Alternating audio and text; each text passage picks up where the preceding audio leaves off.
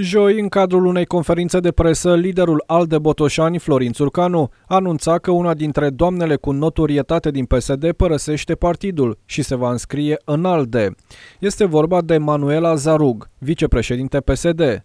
Țurcanu a precizat că mutarea în ALDE survine după ce fiul acesteia, Ioan Zarug, a fost numit vicepreședinte la ANSVSA. Va veni alături de noi și alături de el și cred că este o decizie corectă și bună pentru partid și pentru atâta timp cât m-am exprimat că va veni alături de noi, mă gândesc că un cetățean nu poate funcționa dacă are onoare și demnitate să fie membru în două partide politice. Contactată de reporterul Somox TV, Manuela Zarug a recunoscut că a vrut să demisioneze din funcția de vicepreședinte PSD, nu și din partid, dar colegii i-ar fi cerut să rămână pe postul de conducere. Câte despre plecarea din rândul socialdemocraților, lucrurile nu sunt foarte clare. Eu nu sunt, eu nu sunt la ora actuală, dar dacă va, voi decide să mă scriu în ALDE și va trebui să plec de PSD, nu trebuie să justific, nu mă justific față de nimeni.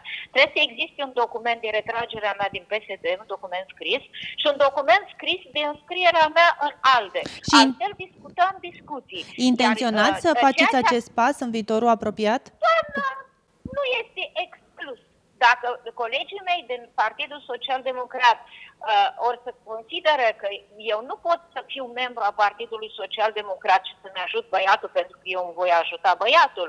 Una peste alta, situația rămâne deocamdată incertă.